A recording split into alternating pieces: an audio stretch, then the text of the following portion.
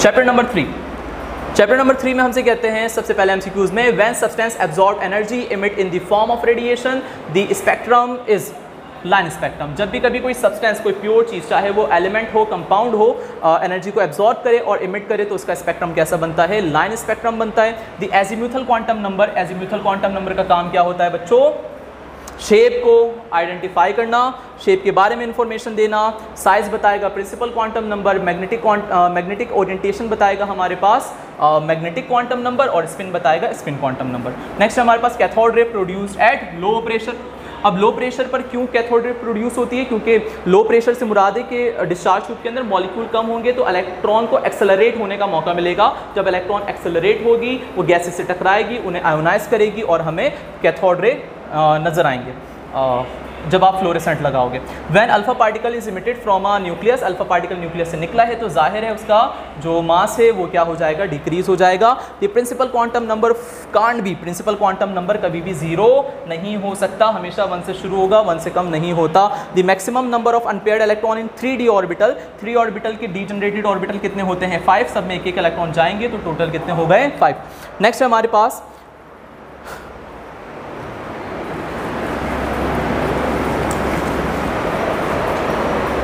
अच्छा भाई नेक्स्ट है हमारे पास the colour has the shortest wavelength in the visible spectrum okay ये रहा 56 n plus l value four five d orbital n plus l कैसे निकालेंगे? फाइव आ गया एन डी के लिए एल कितना होता है टू तो ये कितना हो जाएगा हमारे पास सेवन ओके नेक्स्ट हमारे पास the colour has the shortest shortest wavelength अच्छा शॉर्टेस्ट वेवलेंथ जो होती है एक्चुअली वो किसकी होती है हमारे पास? रेड कलर की होती है, ठीक है? नेक्स्ट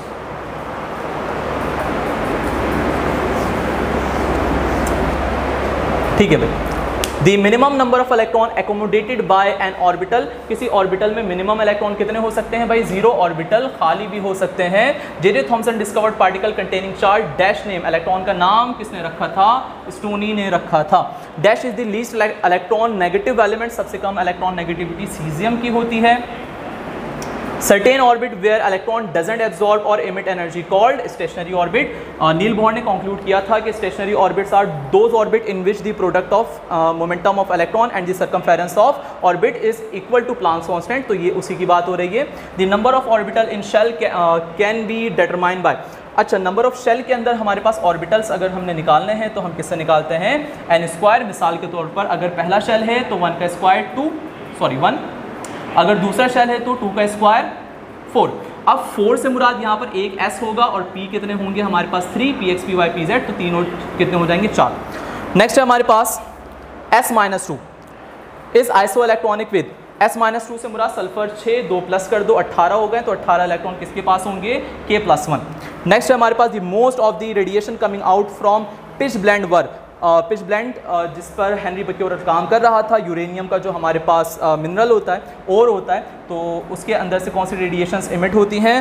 वो होती हैं electron next Bohr's atomic model is contradicted by contradicted से मुराद होता है मुखालफत करना तो किसने की थी भाई?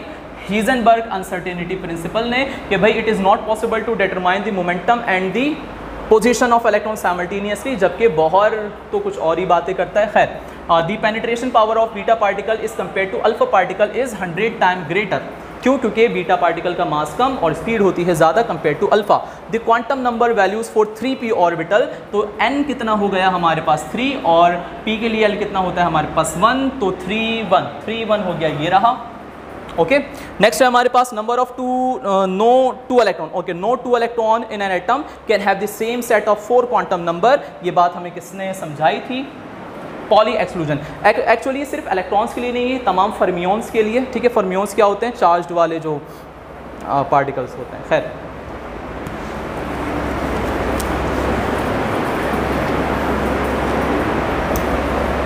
Alpha ray are fast moving helium nuclei क्यों? क्योंकि अल्फ़ा पार्टिकल का मास बिल्कुल सेम होता है, जितना हीलियम का न्यूक्लियाई खैर।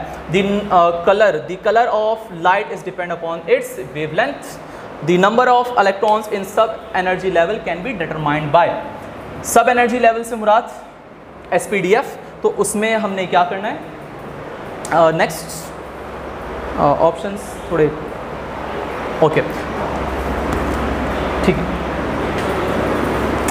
तो यहाँ पर किसी भी okay number of electron in our shell can be determined by थोड़ा सा ऊपर है सर। ठीक है। Number of electron in sub energy level sub energy level से मुराद एस पी डी एफ़ ठीक है? सब एनर्जी लेवल जैसे कि हमें पता है एस एक होता है पी तीन होते हैं डी पाँच होते हैं और एफ़ सेवन डी जनरेटेड होते हैं। तो भाई आप किससे निकाल सकते हो? वो हम निकाल सकते हैं किससे? वो निकाल सकते हैं हम ट्वेल्व प्लस वन से ओके लेकिन नंबर ऑफ़ इलेक्ट्रॉन हमें पता है एक ऑर्बिटल में कितने इलेक्ट्रॉन आते हैं? दो तो दो से मल्टीप्लाई कर देंगे तो two into two l plus one